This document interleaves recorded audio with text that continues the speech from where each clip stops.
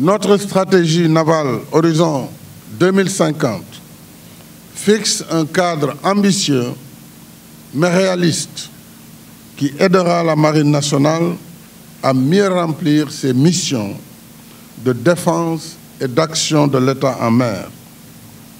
Au moment où le Sénégal débute l'exploitation du pétrole et du gaz, la Marine nationale doit être dans une posture d'anticipation pour prévenir tout acte de piraterie maritime, de criminalité organisée et de vol à main armée contre les navires.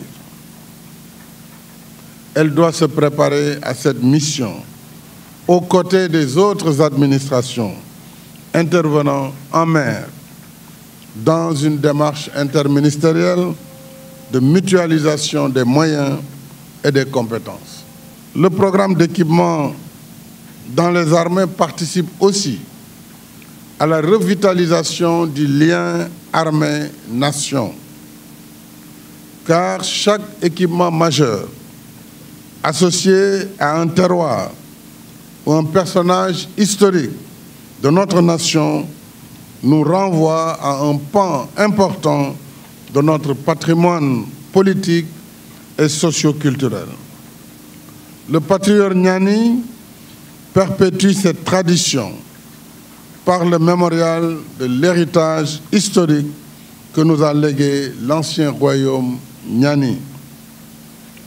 Le nom de Niani que nous avons donné au deuxième OPV 58S nous incite à nous remémorer la glorieuse contribution des peuples des terroirs de Ndungusin, Kungel Sosé, à l'édification de la nation et à la construction de son récit national. Comment ne pas évoquer la place de la célèbre chanson Nyani Bagna dans notre imaginaire social? Le navire est le vôtre, Monsieur le Président du Conseil départemental.